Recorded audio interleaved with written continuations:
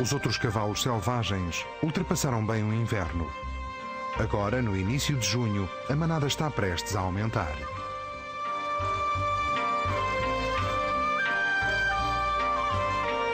Os taquis podem ser os animais mais visíveis das estepes, mas os verdadeiros senhores das planícies são as marmotas.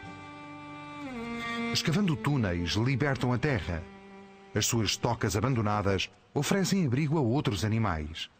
Alimentam raposas e aves de rapina. Mas há uma ameaça.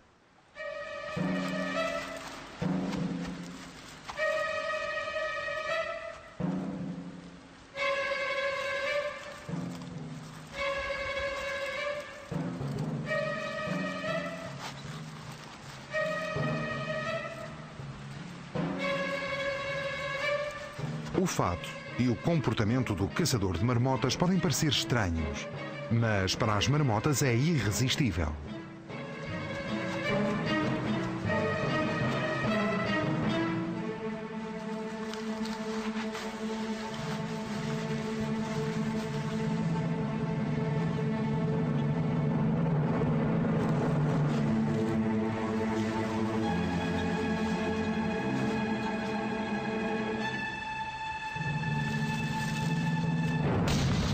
Uma vez que a pele de marmota tem tido boa saída no mercado, regiões inteiras têm sido dizimadas.